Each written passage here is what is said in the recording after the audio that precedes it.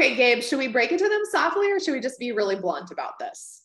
I'm a fan of just being blunt. Let's do okay, we're going to have to be blunt today, guys. Sorry.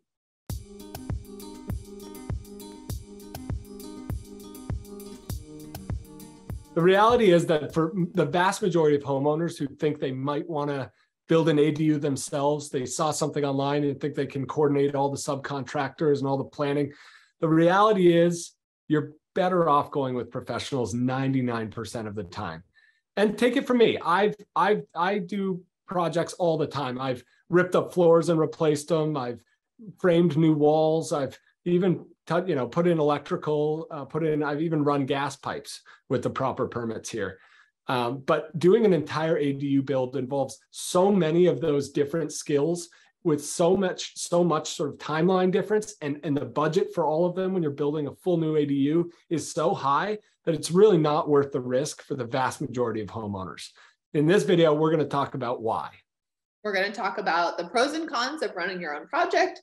We're going to talk about what it means to be owner builder, and we're going to walk you through the whole process from start to finish of an ADU. So we've got a lot of awesome content to talk about today. So let's dive into it. Okay, so let's get some basic vocabulary out of the way to start. Uh, let's talk about what is owner builder, what does that mean, and what is the alternative to owner builder? Totally. So, owner builder is when the owner of a pro- property actually takes on the responsibilities of what typically ADU professionals do. That means that the owner builder is in charge of the design and working with the city to get an approved design and all the necessary permits. And then it actually it can mean that the owner builder takes on all of the subtasks involved in building an ADU, everything from framing walls to running uh, trenches for electrical wire. You know, in many municipalities, you can take a lot of these tasks on yourself if you do them right. They're properly permitted and inspected. It can also mean taking on the role of a general contractor. So contracting with subcontractors to do things like the foundation, you know, the, the sub trades, but still managing the entire project instead of letting professionals do that. The alternatives include hiring a designer, hiring a contractor, and and or hiring a design build firm, which bring both of those into the same company. If you're the kind of homeowner that gets intimidated by hanging picture frames, for example, or doing minor tasks around the house, then owner builder is definitely not for you. And if you're even feeling a little bit uh, like this is a daunting process, even to hire the professionals, to be able to do this work. This is certainly something Maxable can help with. So Maxable has helped paired hundreds of homeowners across the country with vetted ADU professionals, general contractors, prefab companies, design build, designers. And so you can absolutely use Maxable as a resource for finding those people if you don't want to go the owner builder route, which the vast majority of people are hiring this these out to trades professionals. And we get and we get uh, questions all the time about whether we can hire the right professionals, but then do some component of the work yourself. And the answer is yes, that is an option. However, I just want to point out from my personal experience and from watching hundreds of homeowners go through sort of the Maxable process that often that ends up costing more, as much or more, and taking a lot of your time. And the reason for that is you know, when you hire professionals who do this all day, every day, whether it's install flooring, do the electrical, uh, install the solar panels, you know, pour the foundation, they know exactly what they're doing. They don't have to research what type of concrete to use or how to waterproof this, or they know they, they've got enough reps in. So take it from someone who's, you know, valiantly gone in to do a lot of the sub trades himself um, you know, it, it often ends up costing just as much. And when it doesn't cost just as much, the quality that I can do compared to a professional is often lower. So take those into account. I'm so glad that you mentioned the time piece. I think that is so important because ultimately your time is money. There's an opportunity cost to you doing the work yourself when you could be doing something else and and like what you said the the time that it would take a professional to do it versus the time that it takes you to do it is so different.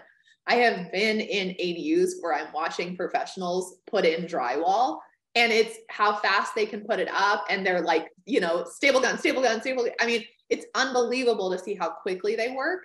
Could i watch a bunch of youtube videos do the research and figure out how to do that myself? Absolutely. Would i do as good of a job and would it take me 10 times longer, I would not do as good of a job. And yes, it would take me 10 times longer. So that's just something for you to keep in mind. Now, let's talk a little bit about what the process involves. Let's say you do want to go owner and owner builder. There are certain things that you need to understand. For example, you need to be able to obtain insurance. You need to be able to source materials. You need to be able to uh, source if you're going to hire subcontractors, which likely you would you know, you're going to have to be able to source all the different subcontractors for all the different types of trades, right? There's the foundation, there's framing, there's electrical, there's plumbing, there's finish work.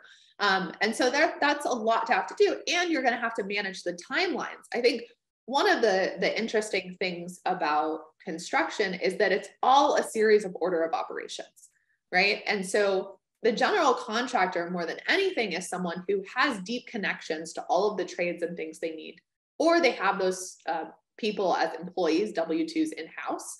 And they're constantly managing the relationships with the city, the inspectors, and trying to keep everything on a smooth timeline.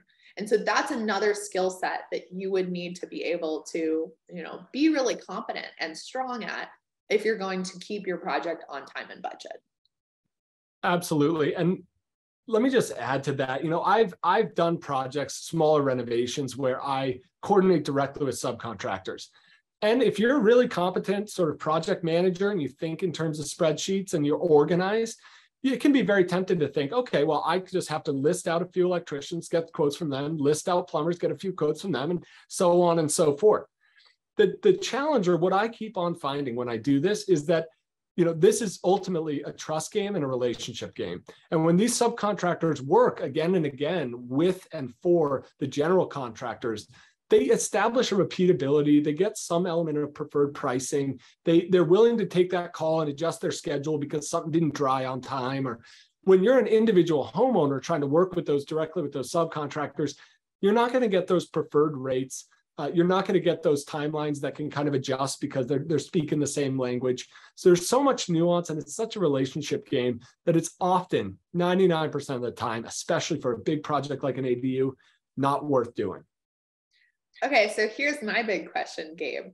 Given your background and how handy you are and how hands-on you've been with your own home and building the ADU that's in your backyard, if you were to go do the whole thing again, you know, let's say you were to buy a new property with the intention of putting an ADU on it, would you go owner builder or would you GC it out? Yeah, I mean it's a great question, and I'm a bit of a unique case. Um, I I absolutely love being hands-on. I I get really uh, I get a lot of joy from learning new skills. With that said, I would still not go owner builder for a project the size of an ADU. Um, it is it is too complex. There's too many sub trades. Um, and the stakes are too high because you're unlike, you know, if I redo my staircase here in a new style or take up my flooring, you know, with this, I'm going to have tenants, long-term renters or short-term renters in it. Um, or I'm going to have family members in it that are, you know, and I'm not there every day. So this is this is an even with my skill set and my passion for learning some some of the trades and you know at least doing it on a on a sort of self-performed basis. This is this is something I won't won't really touch not not without a full-on general contractor sort of license and experience. Yeah absolutely. And there's the warranty that comes with being a you know general contractors are often offering a 10 year warranty on you know everything that they have installed and worked on. And so that's another thing that you're forfeiting when you do it yourself. So there's a lot of considerations but again i think our uh, you know the if you had one big takeaway for this whole video it's that you know, doing owner builder is a very serious undertaking that requires very specialized skills. And unless your background is in construction, we generally just do not recommend this is something that you try to tackle yourself. I was talking with a really experienced designer in the ADU industry, and he really emphasized that uh, that instead of training or working with homeowners to have them become construction managers or developers, it's actually more that's a one-off thing for most homeowners. And even if they're investors and they're going to do multiple properties it's not going to become their full-time job. What is more important is to prepare homeowners to become great renters to become great landlords so that they can sort of manage those properties on an ongoing basis because it's often in their backyards or in their space. And so just think about, you know, where do you want to where do you want to excel and what's worth really hiring professionals for?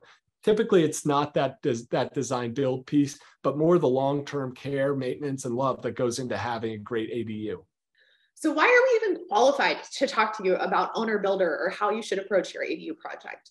My name is Caitlin Bigelow. This is Gabe Blanchet, and we have a ton of experience at Maxable. In fact, Maxable has helped thousands of homeowners explore ADU projects, and we've been directly involved with more than $70 million in ADU development. So we have a lot of experience guiding people through this whole process. And we want to help you gain the confidence and the experience, the education you need to make smart financial decisions for your project. We offer all of this content for free online. And then if you want to work more directly with the Maxable team, we have a, a, referral network of vetted ADU professionals that we would love to connect you to. These are folks that we've we've done projects with, we've seen do projects, and we know will do a great job with you. Go to maxablespace.com and we can certainly help connect you. We also have opportunities to work even more hands-on with homeowners like you. If you loved this video and this content, make sure to like and subscribe so that you're notified because we put out fantastic, great content every other week and you don't want to miss it.